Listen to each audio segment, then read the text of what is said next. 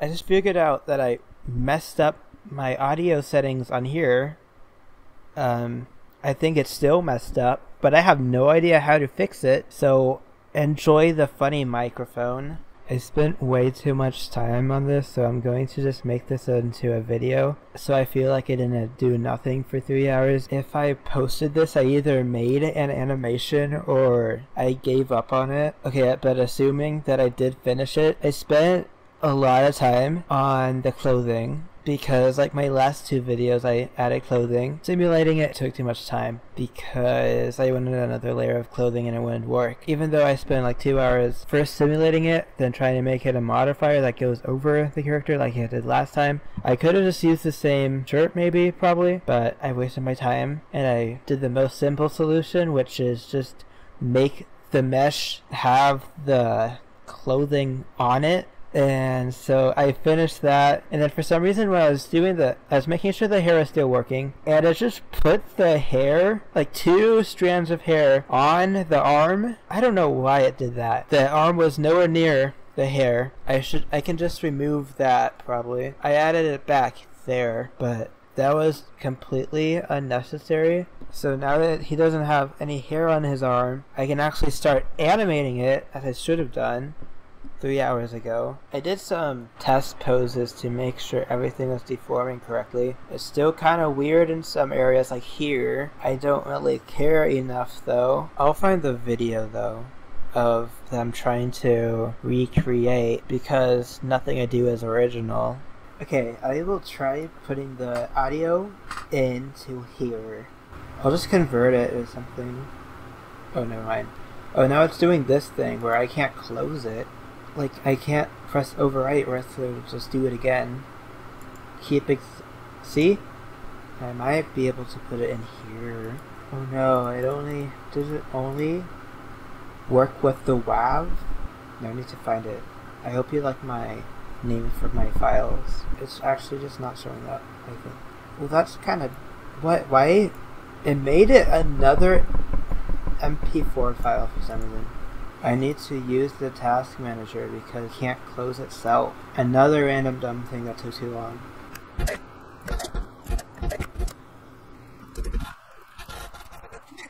Okay, I think I might actually start on this.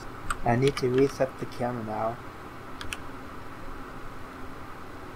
Whatever. I, I don't like how I need to change this here when I can do everything else in this view, whatever.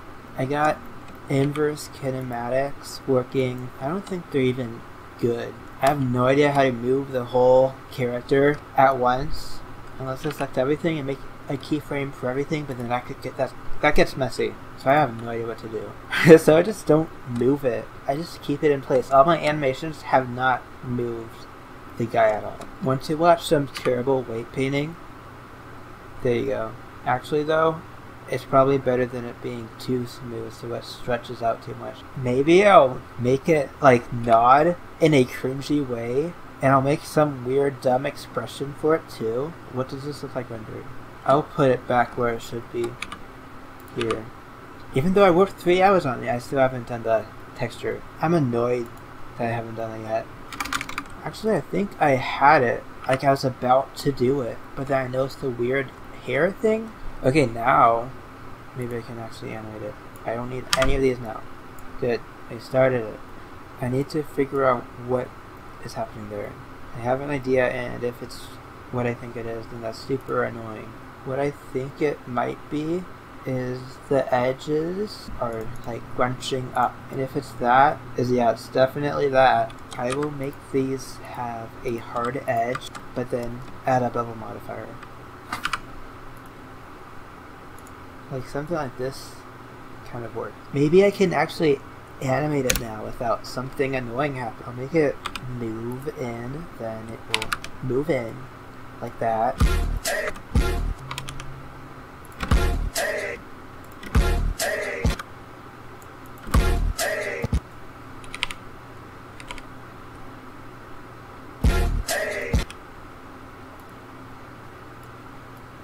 I guess I will attempt the graph editor, even though the graph editor causes so many problems and is super weird and I don't understand it at all.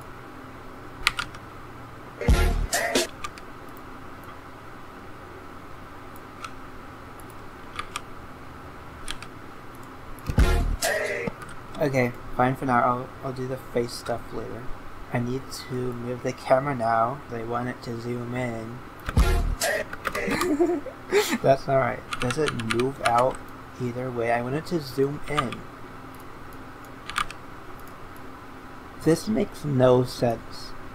So it's zoomed out, zoomed in here, zoomed out here. What if I want it to be zoomed in here and zoomed out here? How am I doing this?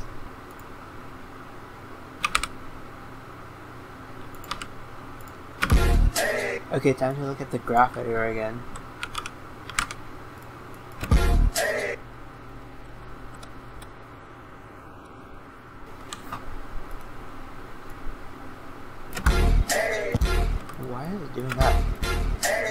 So curvy on some of these. So I found it, and it's here. I will make it so they're not curvy here. No more curvy that doesn't make sense because I would still have some curve. I think I might need to make the part before this not curvy, not curvy. But then it's still doing that. I know it's being messed up because for some reason these have curve. Okay. I did it. Oh no. That's supposed to happen? Actually though, because I did not animate this yet. That's so scary.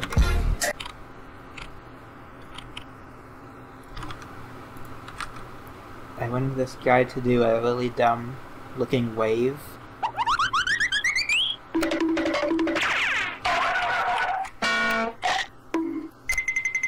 Yes, okay, I think. I'll animate the eyes.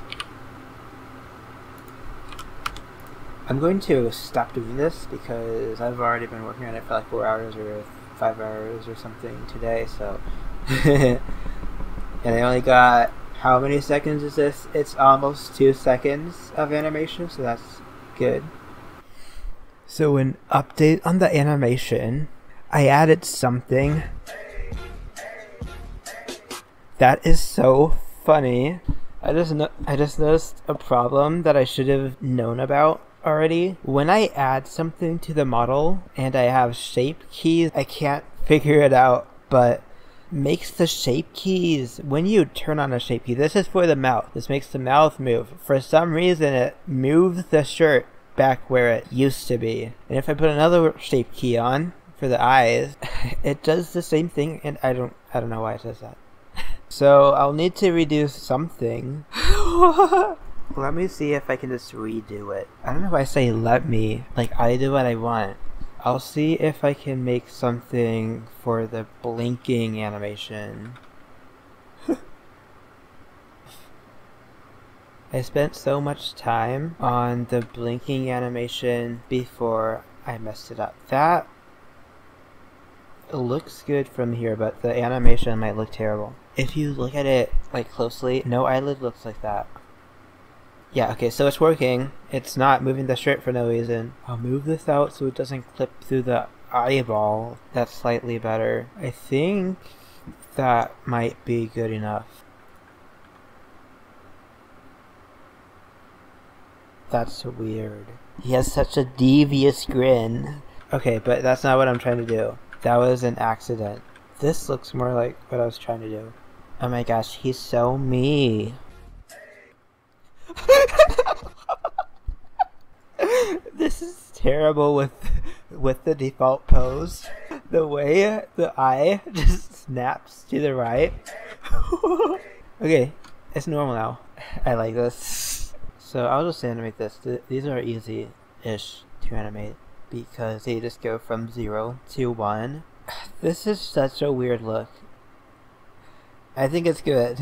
I, I like it. I kind of messed up and did everything when I wasn't recording. I'll see if I can explain it. I'm like almost done now. Okay, I added a background. It's just a cube. It has a modifier that makes it round. Or it's more of a cylinder, I guess. And when you have it in the rendered view, it looks a lot smoother. So you don't see any edges I watched a tutorial on glittery materials, so I got this to be glittery like that, and I put another line texture thingy over it. The lighting actually worked out well for this part, even though it's just the light from behind that's colored and then a regular white point light in front. It still looks pretty good for this. So the next part that I did, that I added, was, I'll just show it. If I added a regular gun, people would be like, um, are you okay? Why are you threatening violence? But I looked for Nerf gun images so it would be more funny, uh, and I found a Fortnite Nerf gun. it's actually just an image.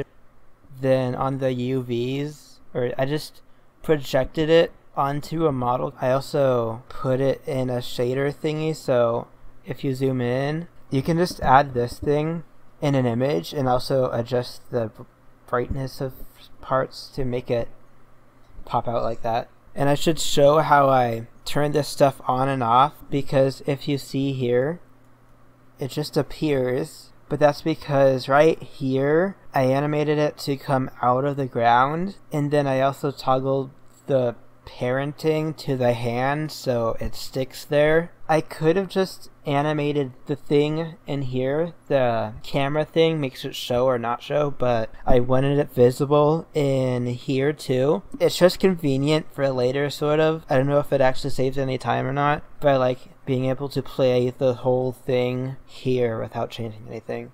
So I did that for the text that pops up here.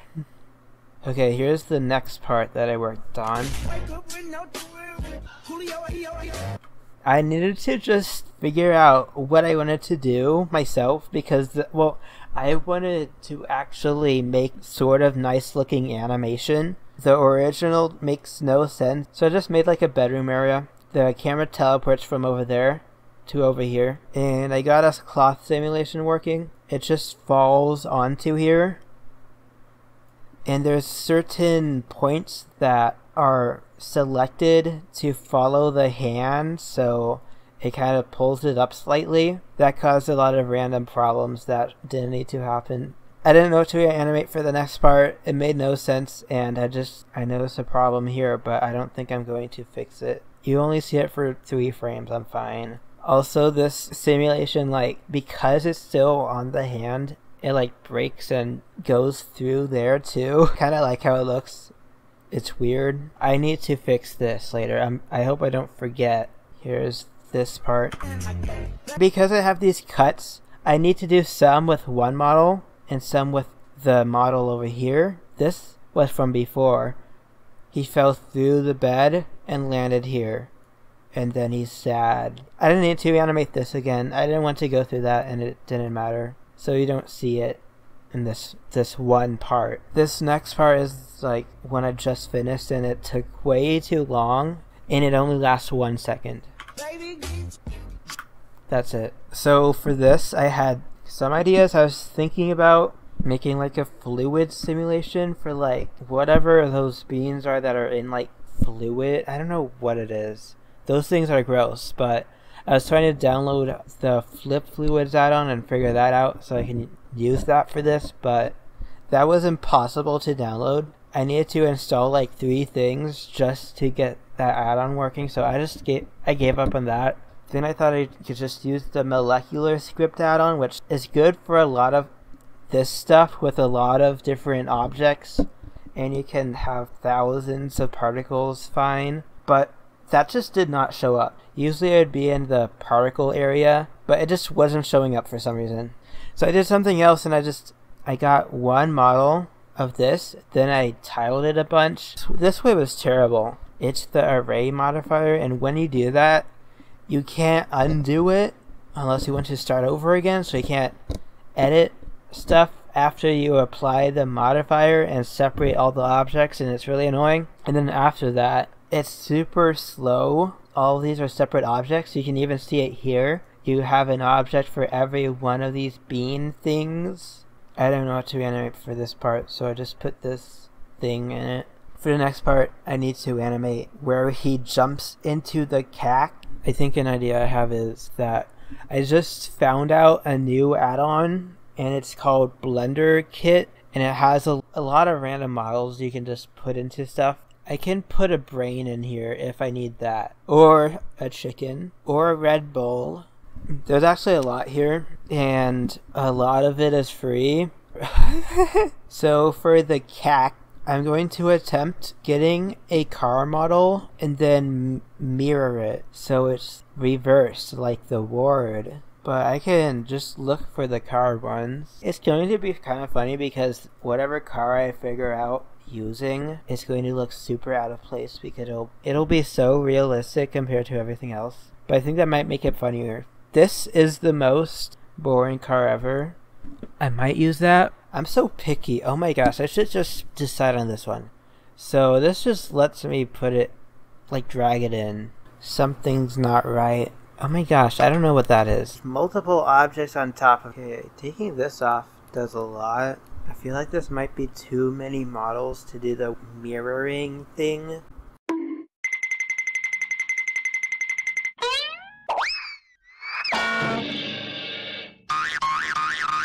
Oh my gosh, they even got a different object for each layer of the logo. Why can't you make that one thing?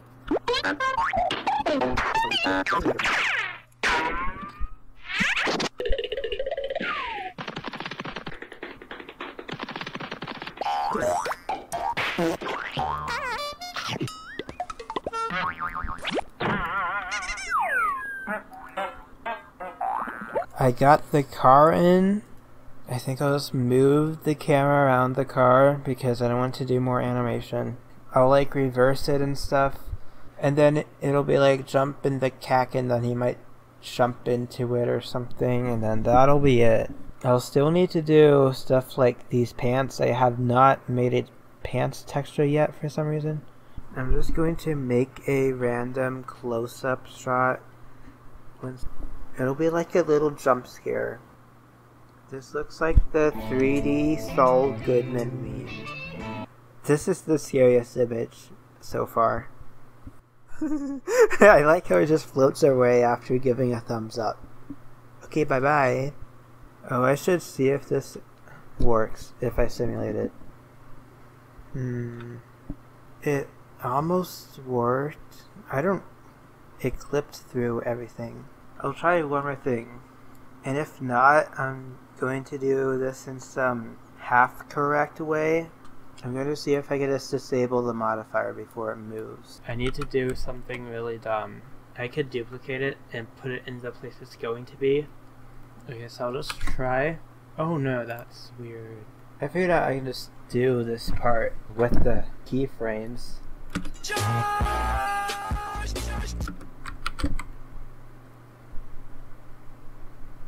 I'm kind of thinking maybe it has to do with this one vertex. That's like the only one that's causing problems, this one edge. I'm just not going to sim simulate it. I'm just going to not have this connecting to anything. It's actually just going to be a separate object and it's going to animate itself, but it shouldn't be noticeable.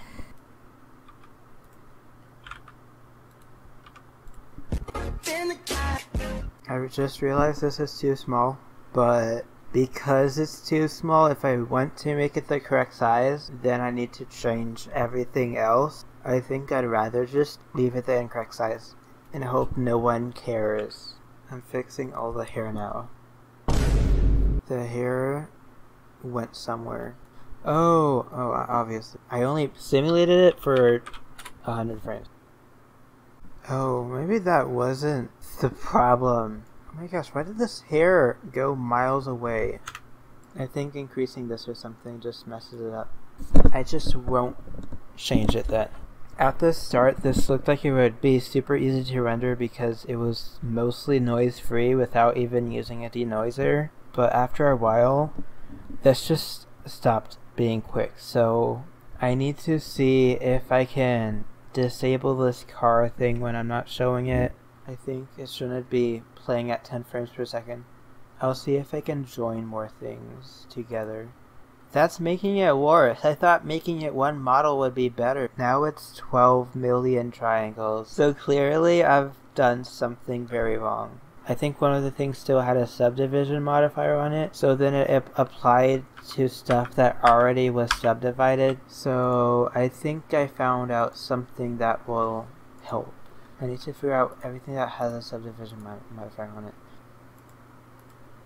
So when I show the subdivision modifier, it's fine, but if I apply it, then it does it again. So I'm just going to close that. I think this is too detailed. Probably messed this up one time and I'm going to see if I can do a modifier to fix it.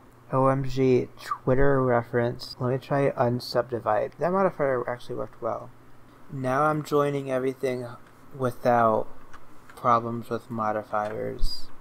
Oh yeah, I the pants are still super basic. Yeah, I think it's worth just putting one texture on it.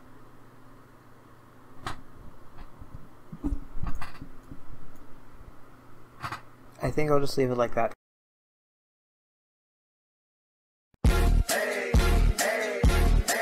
I gotta no gotta wake up with no I can, I can, baby, get you, and your.